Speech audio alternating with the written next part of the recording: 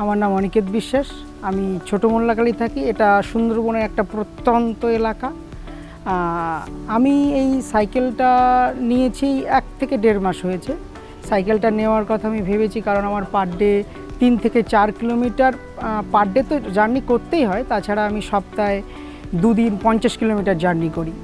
আমার বাইক আছে, প্রচুর পরিমাণ পেট্রোল খরচ হচ্ছে। তাছাড়া আমি যেহেতু এটা আইল্যান্ড এলাকা, কোস্টাল এরিয়া সেই জন্য আমার ফেরি পার হতে হয় এবং যেটা আমার কস্ট মারাত্মক পড়ে যাচ্ছিল। আপনার একটা ফেরি, একটা বাইক পার করতে পঁয়ত্রিশ টাকা একবারে নেয়। তারপরে যাওয়ার সময় সত্তর টাকা পড়ে যাচ্ছে এবং প্রচুর খরচ পড়ে যাচ্ছে। তারপরে আমার এক দাদা নরেন্দ্রপুরের প্রফেসর আছে, উনি মোটোভোল্টের সাইকেল নিয়েছে, উনি সোনারপুর থেকে পার ডে যাতায়াত করেন। আমি এই সাইকেল নিয়ে খুব খুশি, আমার এই মডেলটা খুব পছন্দ হয়েছে, আমার খুব প্রিয়।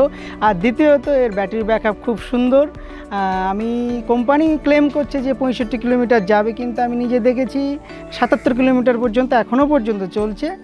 আর দ্বিতীয়ত মানে আমি তো যেহেতু এটা রুরাল এরিয়া মাটির রাস্তাতেও কোনো সমস্যা হয় না, এবং এর সকারটাও খুব সুন্দর ব্রেকিংও খুব ভালো।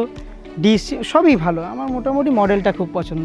আমি অন্য ব্র্যান্ড নেব ভেবেছিলাম, কিন্তু মোটোভোলটা আমি দেখলাম, ইউটিউবে সার্চ করলাম রিসার্চ করলাম, দেখলাম অনেক ফেসিলিটি বেশি আছে, এর অনেক সুবিধা বেশি আছে।